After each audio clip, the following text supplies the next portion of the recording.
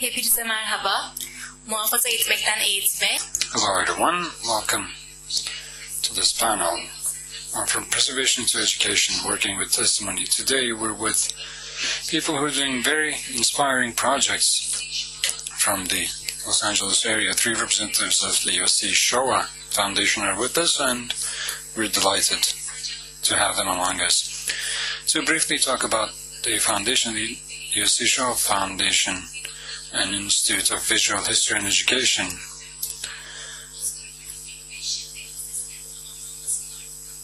was founded after the completion of Steven Spielberg's Oscar award winning movie Schindler's List because at that time he had collected so many testimonies for the film. Initially called the Shoah Visual History and Survivors, the foundation went into cooperation with the University of State of California to assume its new name.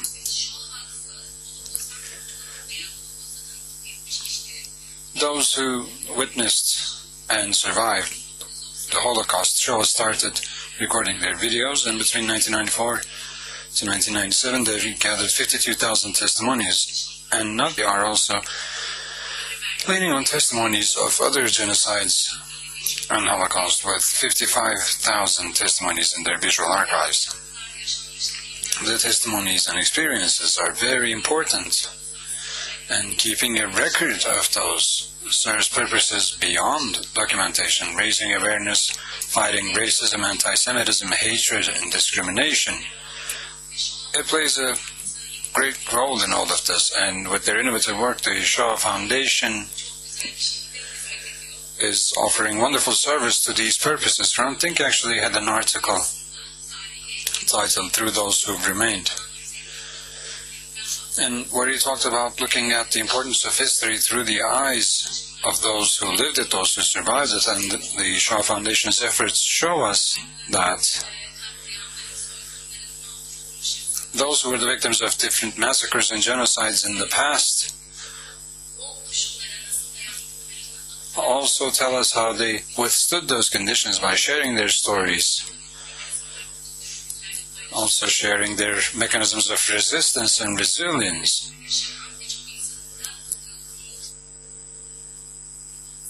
By way of which becoming uh, hope and a cure for people who are the subject of such massacres across the globe. We have three guests, and I won't be taking too long before leaving the floor to them. Our first speaker is Kori Street, who is the Program and Operation Senior Manager of the Foundation from the University of Toronto in Ontario. She has completed her master's degree there in 2001. She obtained her doctorate from Victoria University, an academician teaching nonprofit works, entrepreneurship, international business uh, at the Montreal University. And with her education and the scholarships she's received, along with consideration to all of that, she has been awarded a, the Superior Academics Award by the university. And since 2011, she has been serving in the Shoah Foundation. In 2011, she started with the foundation as the training director and the award-winning IWitness platform and uh, the Developing Testimony program, which reached over 1 million teachers and students in 89 countries. She helped pioneer that. Right now, she's the Senior Manager for Operations and Programs, and she's responsible for HR budget besides all the academic and global training programs. And I now leave the floor to her to talk to us about the background of the foundation and the innovative methods and technologies that they utilize. And just one note, we will have a short break.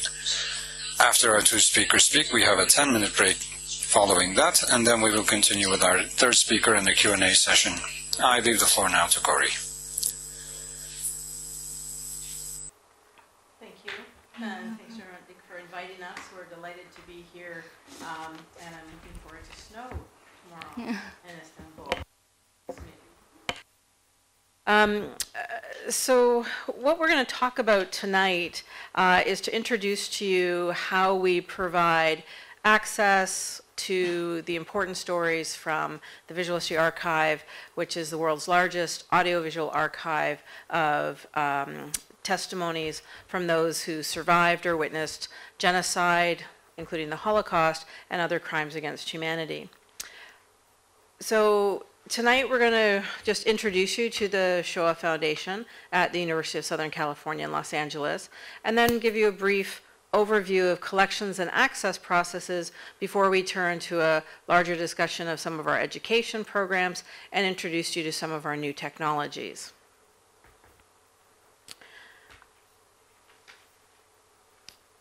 So the image on the last slide was one of our newest collection, which is that of the Rohingya, who we met with in a refugee camp in Bangladesh. Our purpose is to take testimonies like those and the others in the archive to help us develop empathy, understanding, and respect through testimony. So you'll notice in that mission, this is about hope and action and thoughtfulness but it's not particularly about any particular history or historical moment. It's not about any particular discipline. It really is about how we take human stories and use those to humanize each other and counter the kinds of othering and tribalism that can lead to identity-based hatred and as those manifest, those can lead to more violent actions such as genocide. Our foundation started on the backlot of Universal Studios with Steven Spielberg following his completion of the award-winning Schindler's List. When the film won the Oscar, he made the statement that these voices of the survivors needed to be captured and preserved in perpetuity so they could be used to teach tolerance um, to all students eh, all over the world. And so we embarked on this massive program of collecting testimonies or life histories of survivors and witnesses of the Holocaust, and then we expanded that process. Um, this film gives you a little bit of information about who we are today and what we're doing.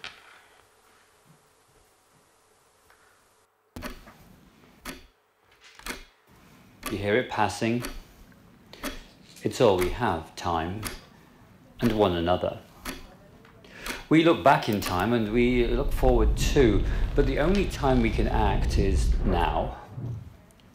Now is the moment we live and talk and share and laugh and cry, and hope and dream. Never before have we communicated with each other so much in the history of our species. Technology helps with that, but it is not technology, rather our need to understand each other that drives us. And so we gather up our memories, everything that makes us who we are. The past is a part of our present too. It shapes us, forms us, good times, bad times. In 1994, we began a race against time to document the past. This is the first time that I really talk about it. There was urgency because a part of the human story was disappearing as survivors of the Holocaust began to leave us. One by one, we knocked on doors, sat in homes, talked on camera from morning till night. We went to 56 countries and talked in 42 languages to 50,000 people, witnesses to the worst times in human history, a point in time when we lost sight of the sanctity of human life. Women, children, men, partisans, saviors, liberators, Jews, Christians, homosexuals. We spoke to them all. Men and women who, in old age, were courageous enough to tell us their story of sorrow and survival. Faces, places, names, a library of humanity. They spoke about food and festivals, sports and vacations, houses and synagogues, weddings and pets and friends and family. Do you see them? Just ordinary people living ordinary lives and that's the thing about genocide. It's not so extraordinary. It's created by ordinary people making extraordinarily bad choices about how they will treat other ordinary people just like them. And it can happen anywhere. Yes, I did say anywhere. Hatred and genocide is a human problem a global problem too. We need to hear the human story from around the world and across time. And so we travel to Armenia and Cambodia and Rwanda and Guatemala and Nanjing and China, and we gathered up the voices of humanity. We heard how much pain we share, how much strength we have, how much hope we can find. That hope lies firmly with the next generation. We owe those who told their stories a debt of gratitude for shedding light on our human condition. If we teach them and empower them and encourage them, the next generation will play it forward, speak to the courage of humanity. You know, we look back at the past, sometimes with wonder, other times with regret, shaking our head about how they all got it so wrong. But what makes us so sure that we would have done better faced with the same circumstances? We can have all the computational power in the world, but if we don't invest in our values, then what's the value of all of that? Hate is not a part of human nature. It's a, it's a learned behavior. It is based on suspicion and fear of the other. And so that's where we all come in. We can be smarter, put more of our skills into solving real world problems, bringing people together.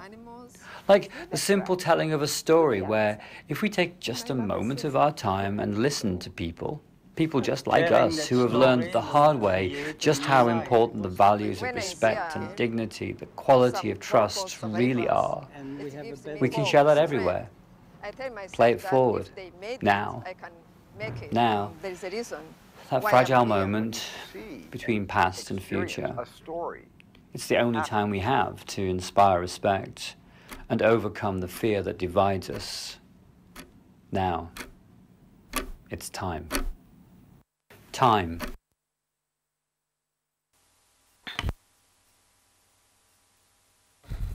So, how we do that, how we inspire and we share the stories, is through our visual history archive. And the archive was the way that we collected these materials, either through taking the testimonies ourselves or working with partners to bring in their collections. And it might surprise you to find that we have testimonies from Armenia, Cambodia, the Central African Republic.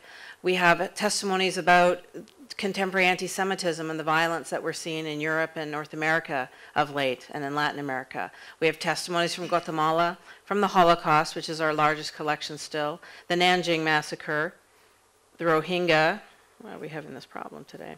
Um, Rwanda, the testimony against the Tutsi in Rwanda.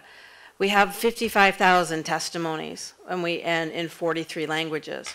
And we use those testimonies for scholars, for global outreach, working with partners like CNN to extend and make people aware of these human stories because humanizing each other will counter the othering and the hatred that continues to plague all of our communities. So that's how we inspire respect, understanding, and empathy. And I'm delighted today to be joined by two of my colleagues from Los Angeles who are real experts in both the archive and the acquisitions, the access process, and indexing that makes everything accessible, and to talk to you about global education.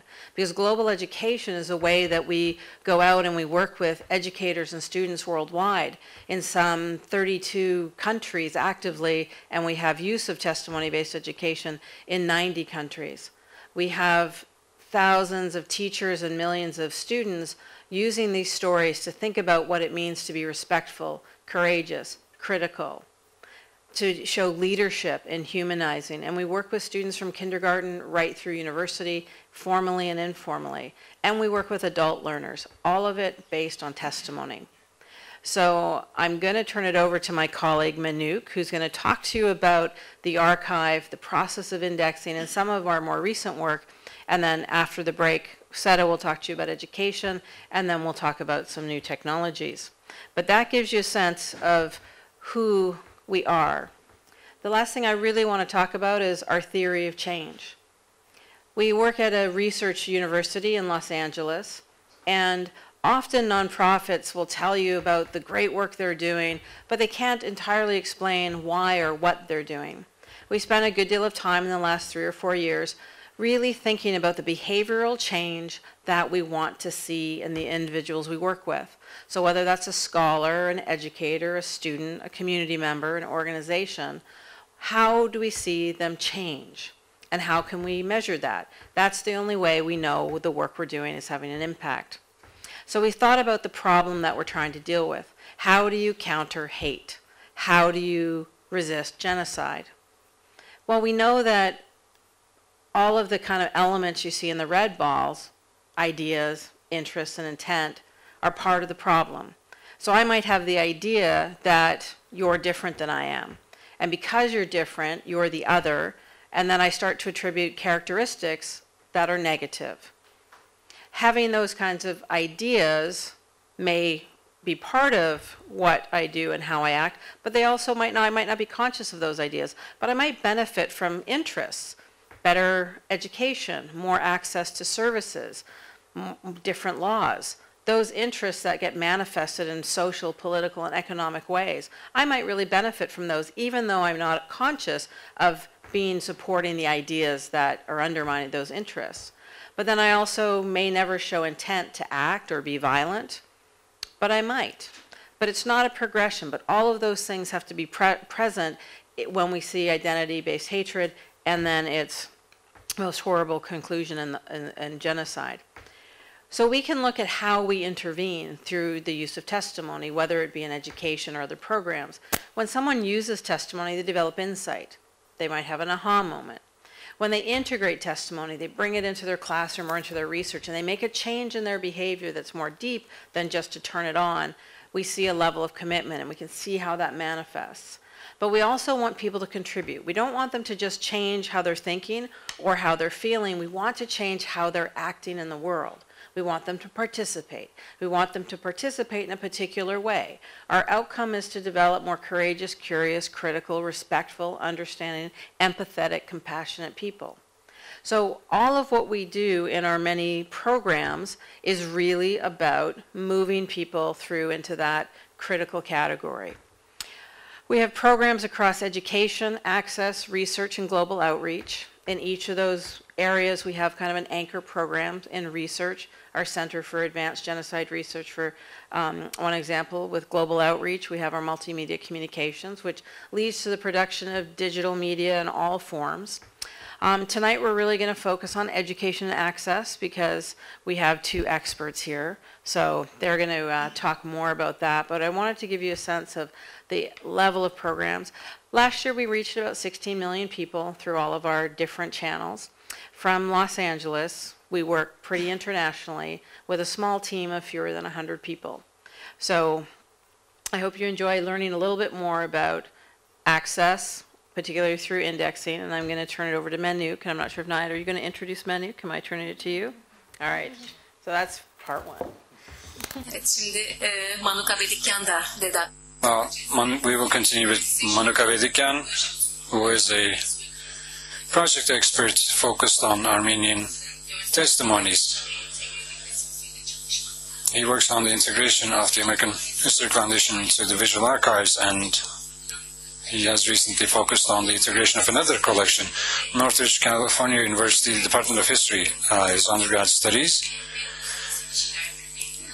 And he got his master's in political sciences. And we will hear about his work on the Visual History Archive. Um, hi, uh, thank you for the introduction, Nayat, and uh, thank you, Kori. Uh, to give uh, to give a basic explanation of how our archive works and what we do um, with with it in general, um, I'd like to discuss the preserving the the legacy component of our archive. So, in parallel to the to the 50 plus thousand interviews that the Shoah Foundation uh, gathered, we also have a parallel like initiative which uh, which preserves which we give importance on preserving uh, like interviews of other crimes of crimes against humanity. So, for example, other organizations that have that, that, that have taken interviews, we we attempt to preserve that. We have a sophisticated approach in in preservation and restoration of tapes. So when we get it, we have very advanced software. Um, bir dakika. Oldu? Okay. so in, uh, can you hear me? Yes. Um, so after we, so we have a process of taking in these tapes into our into the visual history archive. Uh, Kori, the next slide. Oh, I, I didn't realize it. Okay, sorry, thank you. No, well, I didn't realize.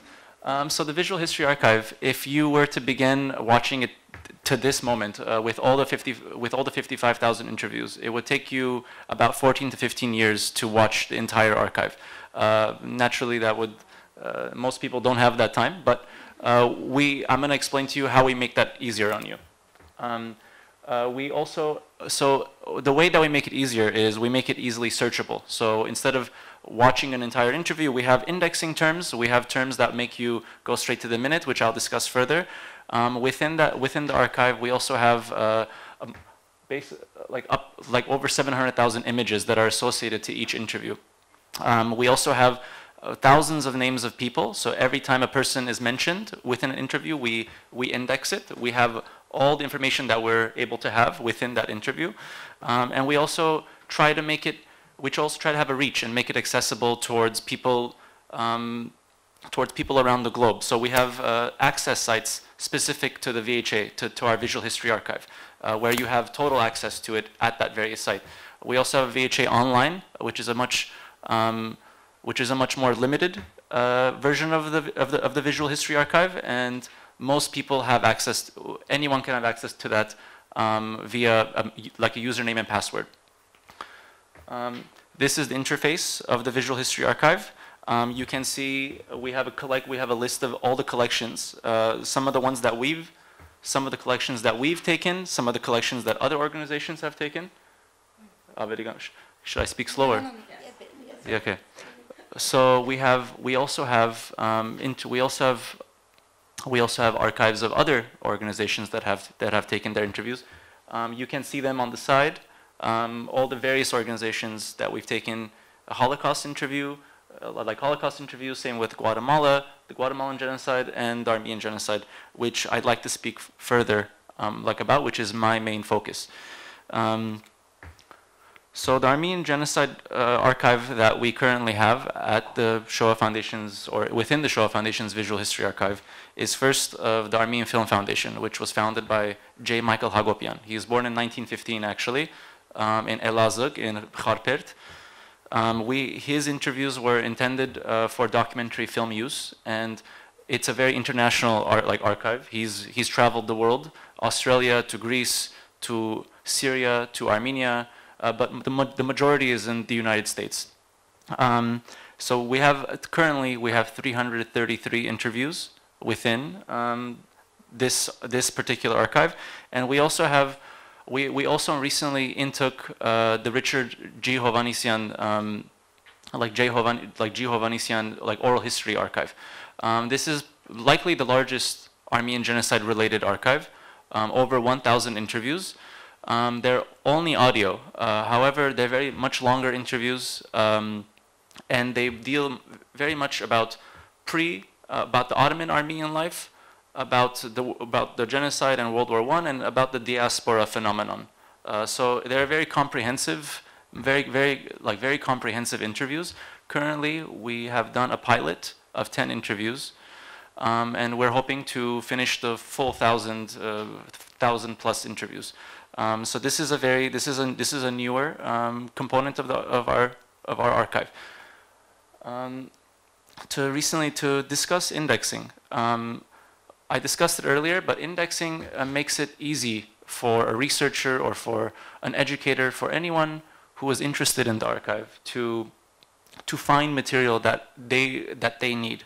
So when you get a book, um, often many people go in the back, they look for Armenia or Turkey or whatever topic uh, when it's a general history book and they find it may be in page 10, page 90, page 100, and immediately they go to page 90 or 100. Um, in, instead of pages, we have minutes. So if we have 120 minutes, uh, each minute is coded or there's terms in each minute. So if you're looking for something about Adana or something about hunger, uh, you'll find it in minute six.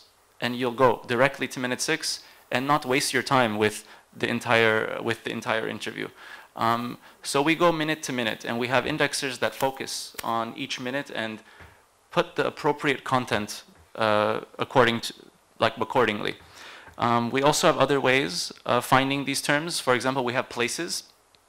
Anytime, a, any, anytime an interviewer, like an interviewee, uh, mentions a place, could be a birthplace, could be somewhere they worked, could be a deportation route, could be really anywhere and anywhere. Does not matter.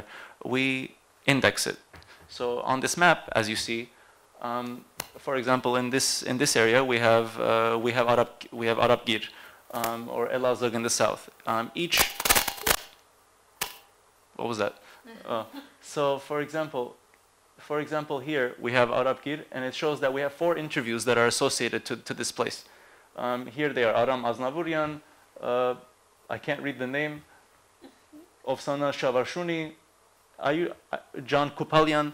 Um, so each person has mentioned this place either for five minutes, for 10 minutes, or for 30 seconds. Uh, you would have to go in and figure it out. They may be from there, they may be have passed through, uh, from probably from Erzurum, but it depends on, it depends on what, um, what the content is. So we try to make it easily accessible. Uh, naturally, for an international audience, we have another approach where, we, where we've translated all the interviews. Uh, the majority of the interviews are, the majority of the interviews are, um, are in Armenian. Um, there's many in English because of the collection specific, specificity. Um, but so, as you can see, uh, we've been able to translate and subtitle uh, the Armenian interviews, the Turkish interviews, Arabic. Many, much of the Arabic is from Halep or from or from Kamishli or Derzor. Uh, we have a lot of uh, Bedouin Arabic. This is very difficult to translate and find somebody uh, to, to, translate it. Maybe not in Turkey today, but I'm sure there's many people from all over Syria, unfortunately. And we have a lot of rare dialects, rare dialects from the Hatay region, from Mush, from from even from Diyarbakir. Uh, the hardest ones are from Musada and uh, Mush. Those are very difficult to understand and very hard to find translators for. Um, same with Arabic, same with Greek. Uh, we have neoclassical uh, 1800s Greek that was created just for the Republic of, of, of, Greece. Very formal, very difficult. I don't think anyone speaks it anymore.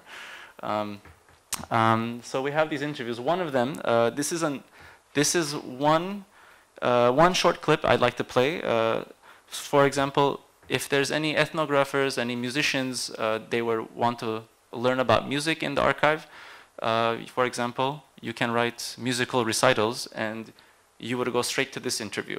Um, so for, please play it.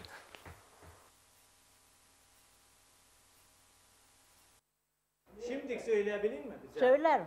Söylerim. Ha, yerken. Söyle. Sabahtan kalktım, çenteme baktım, ağlaya sızlaya koluma taktım. Anamı babamı yolda bıraktım, Binedin uğruna ölen Ermeni. Sabahtan kalktım, Güneş parlıyor, çeçenler oturmuş, Beçare masumlar yaman ağlıyor, bin ölen Ermeni. So, this is shot 1988 in Aleppo. Um, she's from, um, she's from south of Aintab, um, and she's this, this, is, this is the most common uh, requiem song that you'll hear within the archive. We have probably five, six different versions of this same song, different lyrics. She sings it the best. Um, but this is one of the things that you could find within the archive. Uh, and um, this is one of the things that you can find, and uh, it, it, adds, it adds a breath of fresh air, various, uh, quite a wealth within the archive that uh, can be quite surprising sometimes. Um, um, I'm gonna I'm gonna end it there. Thank you for uh, my the translator. I've been speaking very quickly.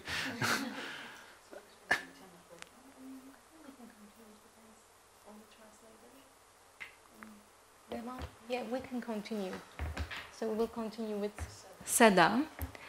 And um, Seda bize e, Sedan will talk to us about the IWitness education platform, a very successful platform, and you'll hear in a while how it's had a transformative effect and how testimonies can be used for different purposes. This application actually shows that quite well. I will introduce Seda. Uh, she's on the Education team the USC Shoah Foundation, education and social Assistance expert, and she gathers educational content regarding the Armenian genocide. Mermont, you, Faculty of History and Master's degree at US Arvin. Also, uh, a certificate in social studies, developing online curriculum, project-based learning are some various educational methods that she has experience on. She's also a volunteer at the Armenian American Foundation, and I now leave the floor to her. Thank you, Nayat. I appreciate the introduction. Uh, so I would like to discuss uh, the global educational aspects of the USC Shoah Foundation, and mainly our educational platform um, consists of a wide variety of content that's very wide-ranging, and it exists on our educational website called IWitness. So this is the homepage of IWitness, where you'll be able to, once you go to iwitness.usc.edu, you can go through multiple different plat platforms, uh, pathways to access our information. Um, but our, so IWitness uh, consists of about 200, 2,800 testimonies that from the Visual History Archive. So from those 55,000 testimonies, we have this um, amount on our IWitness platform um, that's accessible to students and teachers. And we, um, at the moment, um, about 90 people from 90 different countries access this information on IWitness. And this includes educa uh, educators and students. And the numbers um, actually tell us that about 148,000 um, people use this um, from different parts of the world, as we see. Um, 90 countries, and um, our 90, 90th country was Armenia just a few days ago. And so, with this being said, um, our content is rooted in testimony. As we have been focusing on so much, of course, um, testimony-based education is at the heart of everything that we do, and it is at the heart of IWitness. So our content um, is, a, is provided for multiple different grades, um, ranging from kindergarten through university levels. So um, our content is also um, so as you can see, uh, the different pathways in which you can access this information is available on what we call our watch page, which consists of multiple different topics um, that you can access curated clips of testimony. You can search through photographs that um, portray identity that portray people um, people's lives from before, um, during, or after um, incidents of atrocities. And also our activities library consists of ready-to-go classroom materials. And our global programs page provides educators and students a way to um, easily access the content that they need um, as just another extra um, way of being user-friendly. And you can see here that we also have um, IWitness available in many different languages. And from behind you can see examples like IWitness Hungary, um, IWitness Espanol, or IWitness in Rwanda, which is in the Kinyarwanda. So um, with this, um, our content is digitally engaging for students. It allows them to uh, connect to to another human um, by listening and uh, build their transliteracy skills. So by watching, by listening, their ability to speak or their ability to read text and listen increases as well um, by watching testimony. And with this, it develops their social emotional learning as well, because they're listening to another person and they're relating to that story. And ultimately, they are seeing and listening to um, connect with their own story as well. So so our, again, our testimony, our content is rooted in testimony, and um, we make sure that it is based on the latest theories in education. And uh, we also make sure that our content, uh, when students are engaging with um, our content, they are producing our learning outcomes. And so there's a goal that we have, and we want to make sure that students are reaching those goals. And we evaluate um, in the, uh, the, the student experiences in the classroom to make sure that we are meeting those goals. And a very special aspect of our uh, programs are that we um, localize the materials that we produce. So based out of whatever, whatever um, environment, uh, what an environment, whatever the teacher needs within the special environment in which they teach, we want to make sure that the content that we provide them is accessible to their students, um, the themes that and um, content that their students need is met is localized for the needs that they um, are looking for.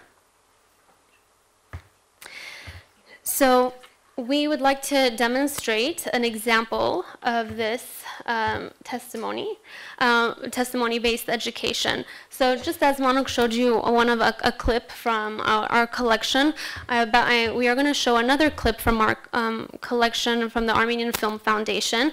But the clip that you'll see is of Arshak Dikranyan. He actually um, was born in Izmit in Turkey in 1905, and he was interviewed by the Armenian Film Foundation in um, Los Angeles, California, in the 1980s, I believe. And so, you'll as you watch, I uh, would like you to um, pl uh, pay attention to the tone of voice that he's using and watch his body language as he's speaking as we watch this clip of testimony. One day, we were desperate, hungry, didn't have of money. My father, we had a small rug that had a little value, and my father took the rug, and he took me with him too. And by bribe, we got out of the, the Konya station and went to the flea market to sell the rug, to buy some, to have some cash money, buy some bread and things like the provisions. We went to the flea market. My father opened the rug, on the, on the uh, ground and was waiting for a customer. A Turkish gendarme came with uniform. He took a fancy to the rug and he wanted to rug himself without paying. My father refused to give, saying, Efendi, çocuklarım içindir bunlar, ekmek alacağım, acıdılar, hiç çocuğum vardır. Efendi, sir, uh, this is for my children, uh, I want to buy bread from out of money, I did need to sell this. The man got, the policeman got angry, he says, get out of here, you gavur.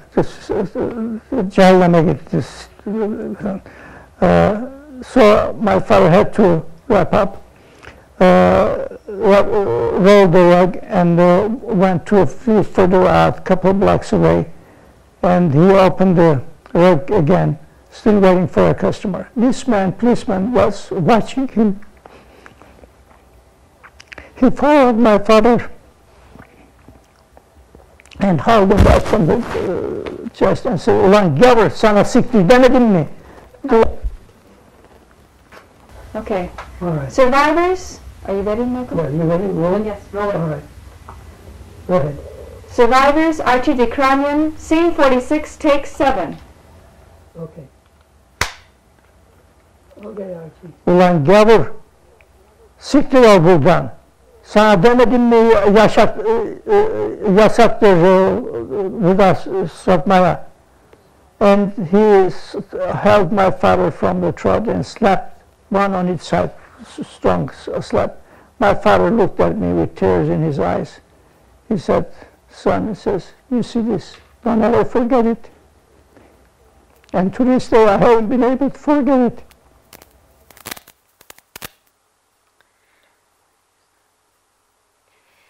So, um, as you can see, our content develops understanding of specific historical moments in which our survivors lived through, but also our, our testimonies can also speak to universal experiences that can bring about more inclusion, empathy, and compassion for others.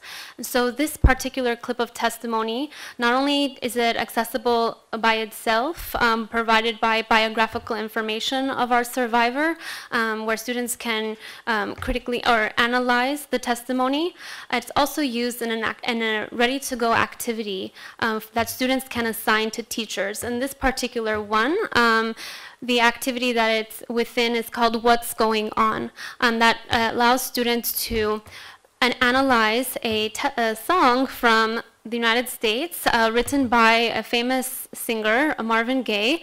And he, they analyze his song, What's Going On, that really talks about what's going on in his world, which was in the 1970s.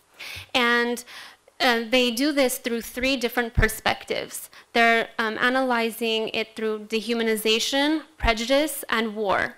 And as they're analyzing this song, they're also uh, looking, listening to these clips of testimony. So Arshak Dikranyan's clip um, helps to bring about more understanding for the experience of dehumanization and what the consequences and causes are of dehumanization. And ultimately, um, by moving through um, this understanding, students then um, are empowered to write their own song. Their, and the purpose of that is to be able to communicate with others um, what they see is going on in their world and how they can create a difference in their world through their own testimony, which comes out through their own song. So, it, with this all being said, IWitness and testimony based education allows students to discover experiences of the past. It helps them to recognize how the past influences us in the present, and um, it empowers them to discover ways in which they can create a difference and uh, activate their civic and social responsibility. And so, with that, um, in their community, that I want to make sure I, I say that. Um, and so, with that, I'll pass it back on to, to Kori Street. One day, we We're going to hear Ashford again. So um, I'm just going to wrap up before we, oh, I always forget the microphone. Um, Before we show you some of the new technology, I just wanted to talk a little bit about how we're leveraging new technologies to further the power of these amazing testimonies. Um, The image you see behind me is a picture of Lala. Lala is a virtual reality animated short that we built with um, a number of partners that focuses on themes like love being stronger than hate.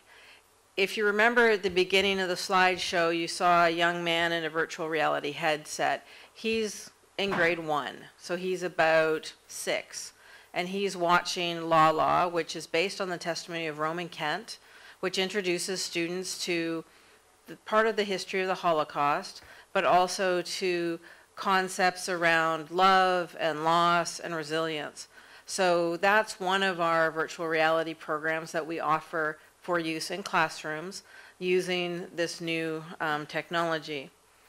One of the other ways we're embracing technology is by taking testimonies out of the classroom and off the computer and putting it on a tablet or a cell phone integrated with maps and images and text in something we call an iWalk.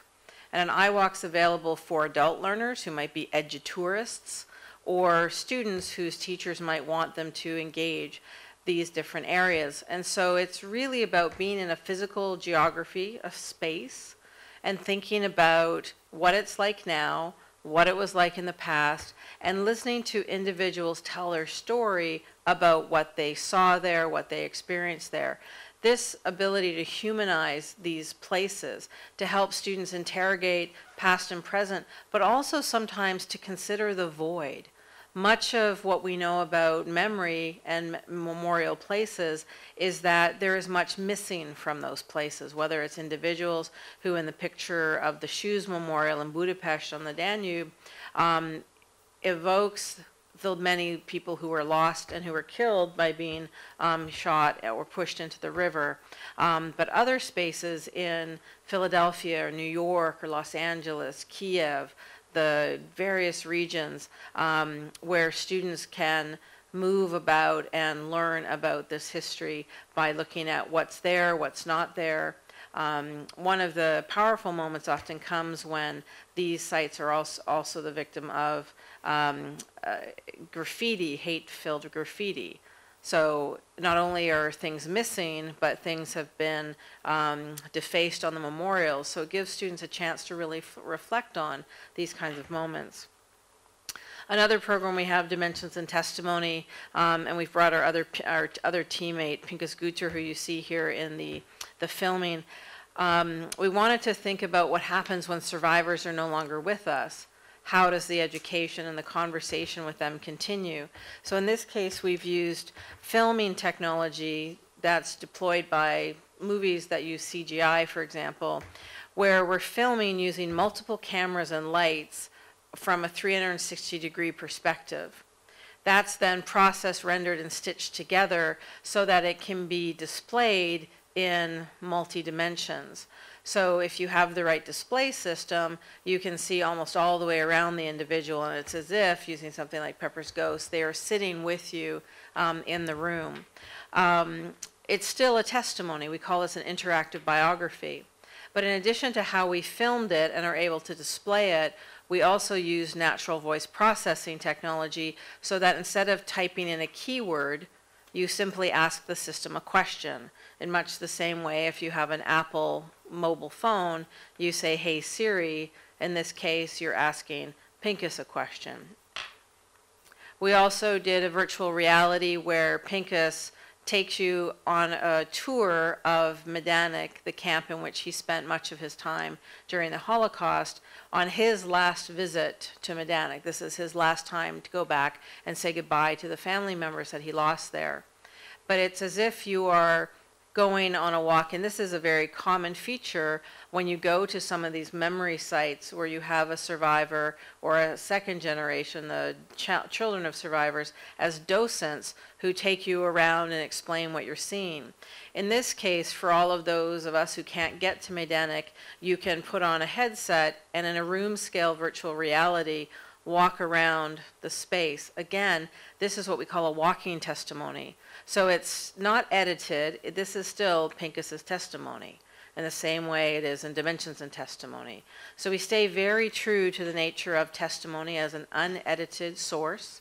This is why we have to help teachers and, and others know how to use them. This is someone's memory, a memory of a traumatic event, um, of their life before, during, and after those events. Whether they're witnesses or survivors, it's important if we're fighting denial to be very clear on the the, the things that testimony can and can't do. But we do want to introduce you to our other member of our team. So if you just give me a second, I'll wake him up and see if he wants to talk to us. So we'll see if Pinchas still works with the translator.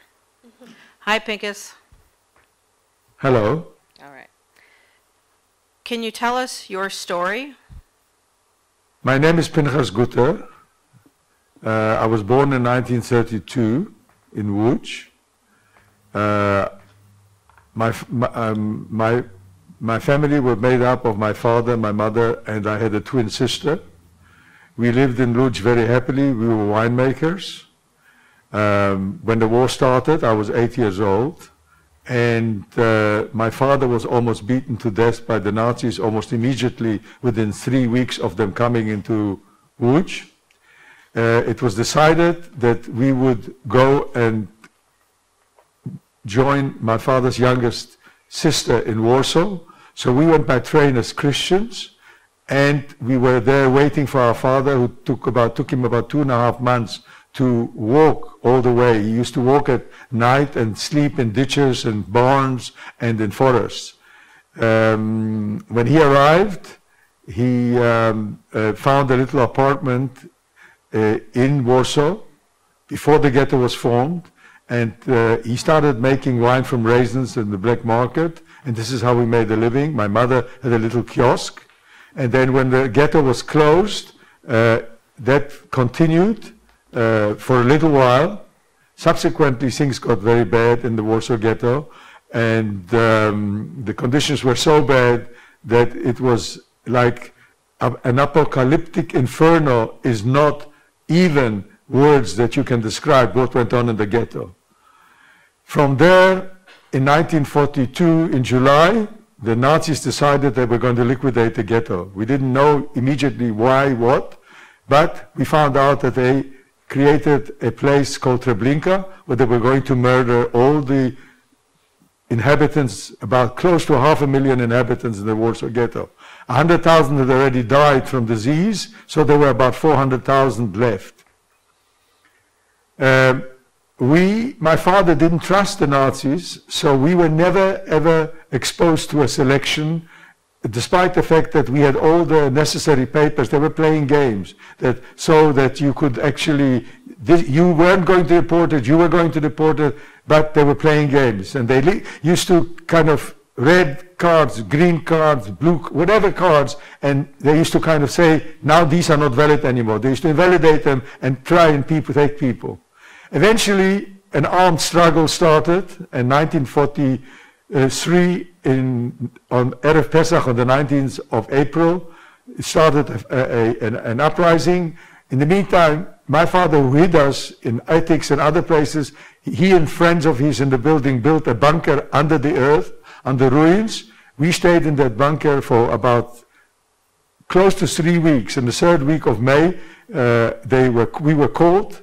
We were sent to a camp of Majdanek where I lost my parents and my twin sister. I was selected, after a couple of months being there, I was selected to work. And I worked in a place called Skarżysko Kamienna, a work factory. I was there for a year, also in horrific conditions. I then was sent to an ironworks in Poland in Częstochowa. Again, things improved there, but they weren't very good. From there, I was sent to Buchenwald, where things if I hadn't been taken out by the company that you know I worked for all the time, I would have died from hunger because they didn't even feed us. Things at the end of 1944 in Buchenwald were unbelievably terrible. Um, I was then taken to a place called Colditz. I was fortunate to be chosen to work in the kitchen. I was then there for about three months, taken on a death march because half of us died on the way or were shot on the way, and I was liberated eventually in another camp in Czechoslovakia, Theresienstadt, by the Russian army on the 8th of May in 1945. So we filmed Pinchas Gutter um, before for our two-dimensional testimony, but also again for the interactive testimony for seven days, for no more than five hours a day. He wore the same outfit for those seven days and sat in that position and we asked him about 1,500 questions. Sometimes we had students talk to him, sometimes we had staff ask him questions, and we filmed his answers. And then in processing, we link his answers and against the questions that are, that are asked, but we don't curate his answers. This is a testimony in the same way that all of our other testimonies are unedited. But if a student was to ask a question that's not appropriate, they'll get a different answer. So if I said, what's your favorite color? My favorite color is blue. Right? Because we know that young kids will ask that. But if we ask him, do you like pizza? Could you repeat that? Do you like to eat pizza? My favorite food is gefilte fish that I make according to the way my mother used to make it.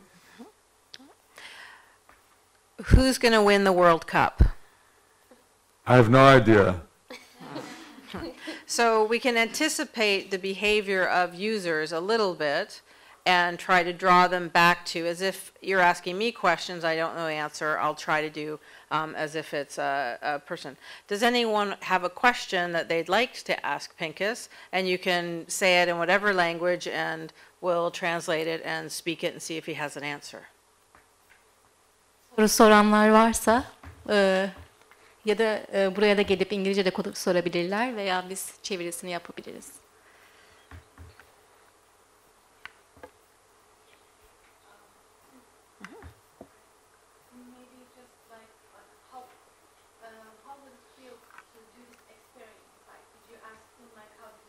Oh. He- Yep. Like maybe, yeah, sorry. I couldn't wait for the microphone. so I just want to, yeah, uh, I was curious about how he felt uh, about being in this thing. In this program. in All this right, program. let's try that. Like, yeah, if he shared, yeah. What do you think about dimensions and testimony? I think this project is very, very important. It is important because it will, you will be able to not just read or see the testimony of people, but you will be able, whoever does this, and how many of these projects you do, these are the people of the future who will be able to engage with the individuals who are, who, who are there and who actually need to know what happened on a personal level. It will mean much more than just watching a video or just listening to a testimony in audio.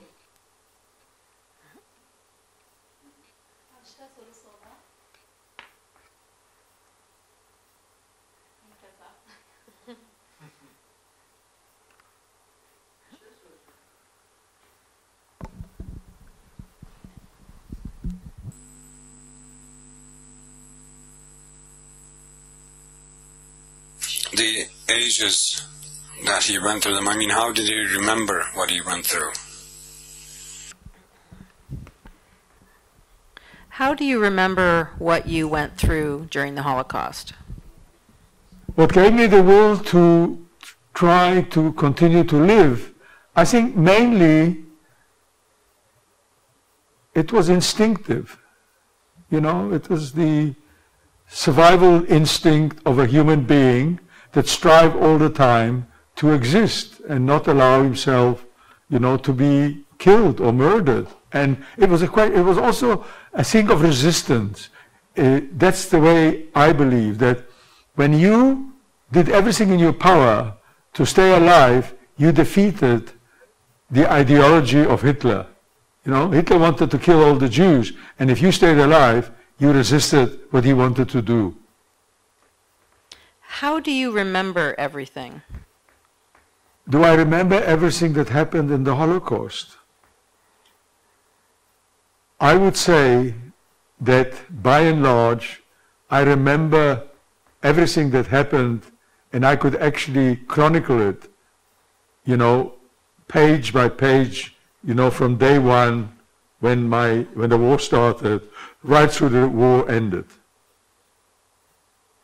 Of course, with some, you know, not with not exactly everything, because you know some things are the same. But I think I will remember. I do remember everything pictorially. As a matter of fact, in the Warsaw Ghetto, I used to walk around and I behaved like a camera. You know, my eyes were the lenses, my brain was the celluloid that was actually recording all those scenes. And I think if, it, were, if I had the ability, and if you asked me about some scene in the Warsaw Ghetto, I could project it to you on the, on the, on the, on the wall.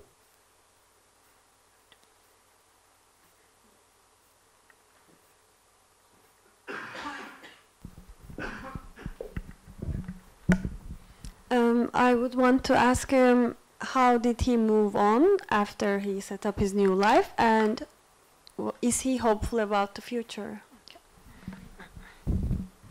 Pinchas, are you hopeful? I always feel hopeful. I always feel hopeful. I'm not a pessimist. I'm a pessimist about personal things because of my emotions and fears you know, that I'm always scared about what might happen here, there, and everywhere. But by and large, about everything else, I'm very hopeful. If I wasn't hopeful, I wouldn't be talking to you or anybody else about my experiences. How do you move on after the experience of survival? Just repeat that, please. How do you move on after the Holocaust? It was extremely difficult. Well, there were times. I, I, I, don't, I, don't, I don't think that you can actually say for the, as, as, I, as, as I say to myself, the first 10 years after the Holocaust, I didn't suffer, I had no problems, I was living in the future, in the present and the future, and I was doing what I believe a young man needed to do. It was a specific day in 1954 that I fainted having lunch and I started having nightmares. And I had to start coping with these nightmares. I didn't know how to cope with them. I didn't have any help from anybody. I then met Dorothy, and that helped to a certain extent in the beginning. We were just getting to know each other.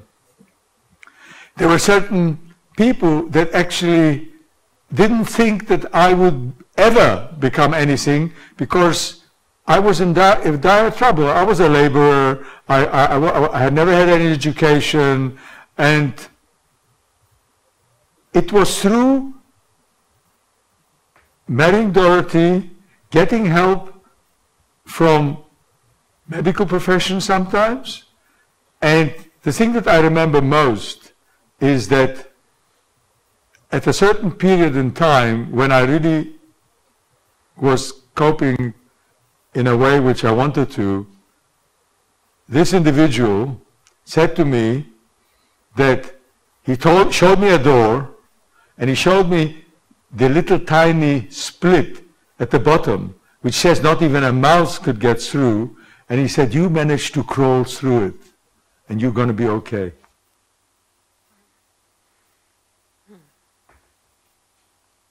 Any other questions?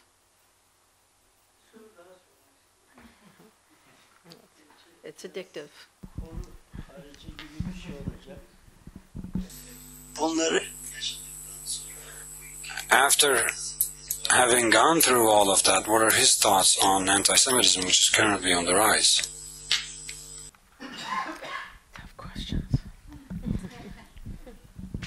What are your thoughts on anti Semitism today? It's difficult to believe that there is, but there is anti-Semitism all over the world. It is actually getting worse instead of improving. You know, after the Holocaust finished, you know, I, I believed, and, and I think most of the people, Jewish people that I knew, believed that anti-Semitism was on its way out. Things people didn't become anti-Semites anymore, or they won't become anti-Semites, and, and, and the world has learned that what can happen with anti-Semitism. But today, it doesn't matter. Worldwide, this uh, anti-Semitic ideology is being propagated in countries, for example, like Japan, where it never existed before, and even during the war, when Jews were in, in, in Shanghai under Japanese occupation, they weren't treated badly or no different to anybody else. But today, there are fascists who hate Jews in Japan and try and propagate anti-Semitism in that country. So I guess he has an opinion on that too. Um, I was wondering uh, how many times have uh, has he told this story? I don't know if he can count that high. How many times have you told your story? How many times I've been back to Poland? How many times have you given your testimony? I was sent to, actually, I went through five concentration camps. Hmm. This is where, just as when you're trying to get your question answered by anyone, you have to think about how you word it. So we'll see if we can try one more time. How often do you give your testimony? Just repeat that, please. Do you often give your story to students? In 1992. Hmm. Yeah. How many times have you shared your story? How many times I've been back to Poland? Yeah. Clearly, he wants to talk to us about Poland. I think the 1992 reference is when he started to give his testimony. When was the first time you gave your testimony? The first time I went back to Poland was Yeah. Well, this is one of the things with technology is when we take the computer back, they will look at the question we asked and the response it gave and figure out what's happening with the algorithm that's getting the answer. Um, it's sort of like when I ask Siri in my Canadian accent to get me places in Los Angeles, I often end up somewhere else because it doesn't recognize the street names the way I say them. So it's part of the voice, um, the, the, the process. Every time we use the system, it gets better. So when we first started, he was about 86% accurate. Now he's closer to 95%. So when we get to further along, the system, just the more questions, the more updates, the, um, the more accurate the, um, the interaction gets. Um, the system, for example, is now able to do follow-up questions. So if you asked him about his kids and then what their names were, he can tell you. Before it would have been, I'm sorry, I don't know, because he doesn't, the system wouldn't make the, the link. Now it does.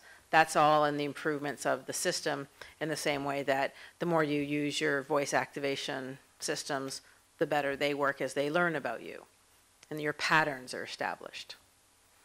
Any other questions?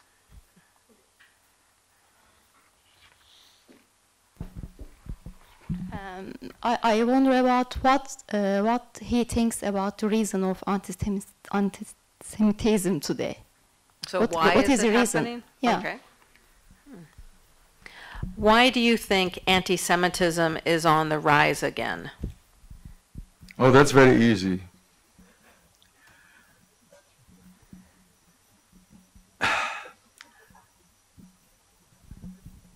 We are, the Jews, the smallest minority of a group of people that call themselves something, which is the Jews. And we go back several thousand years.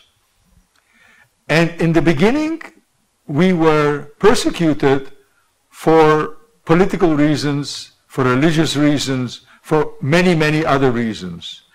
And over the time, over all this time, it kind of got ingrained in the psyche of people in general because, you know, we kind of like do uh, tend to do that through our genes. I believe that.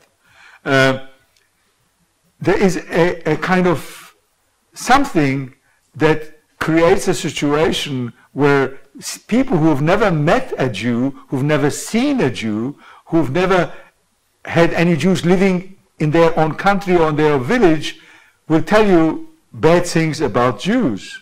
So how does that come about? And the second thing is the world needs a scapegoat because it's always nice to blame somebody else for your own iniquity. So why not the Jews? Jews were called by the communist capitalists. They were called by the capitalist fascists. By the, by the fascists, they were called communists. And so it doesn't matter whatever, whatever you want to do with a particular group of people. It's like today, the, in Eastern Europe, the Roma, which their derogatory term is the gypsies. So if you want to, uh, I remember even as a child, in Poland, before the war, my grandmother used to say, don't go anywhere near the gypsies because the gypsies catch children and sell the children. Now maybe there was a case, or maybe they're not, I don't know. But the fact is that minorities tend to have this problem. And because anti-Semitism was so ingrained over thousands of years, it is very difficult to, to kind of um, to, to do away with it. It's very difficult to make it, you know, to, to change. Can you sing us a song? Shalom Aleichem, Malchei Hashulam, Malachei Elyon, מי מלך מלכי המלוכים הקדוש ברוך הוא. בו יחד לשולם מלכי השולם מלכי עליון. מי מלך מלכי המלוכים? הקדוש ברוך הוא.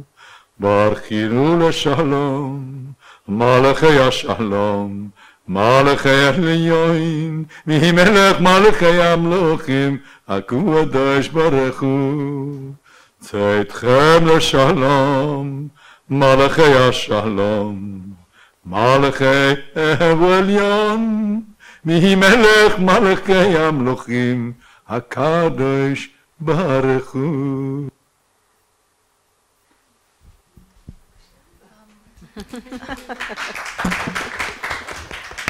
and Kori, just as a note, you also, this is me, me um, just as a note, you also produce hologram of Pinchas, right? And you also do Q&As in different institutions and museums with. So we have um, uh, exhibitions with the Dimensions in Testimony System in various museums around the U.S. and one in Sweden right now. Um, how he's displayed depends on the museum. So in Illinois and um, soon to be in Dallas, for example, they're using a system that makes him appear like a hologram. So even though no hologram exists quite yet, it is an almost 360. So it really looks like a person is sitting in the chair.